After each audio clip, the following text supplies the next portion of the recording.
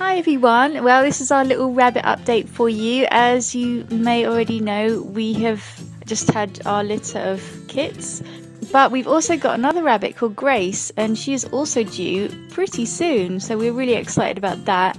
As you can see from the photos, she is very plump indeed, and she also has a really big dewlap. I took a little bit of a video um, of the of the kits. As you can see, they are really getting big, um, and they are moving well. As you can see, quite haphazardly. Uh, very very sweet indeed. Phoebe is quite protective over them, and uh, she does give me a little grunt every now and again just to kind of warn me off. So I've learned best thing to do with that is to come and offer her a treat. Uh, so I give her a little bit of carrot or some spinach or bit of apple, something like that, just to kind of really distract her, and she really goes for it. But as you can see, they are very, very cute, and we absolutely love these little kittens. Just really happy to see them develop day by day.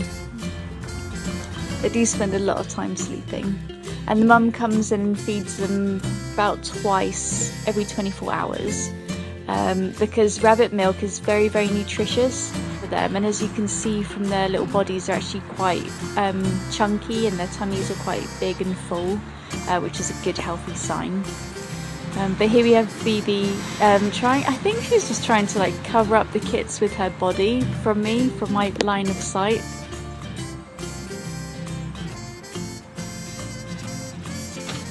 and now she's completely trying to block my line of sight by sticking her head in the way. so yeah, she's been an excellent mum. Really, really pleased with that. Um, and so soon we'll be having Grace delivering her kits. So we've been preparing her box as well. So yeah, check back soon.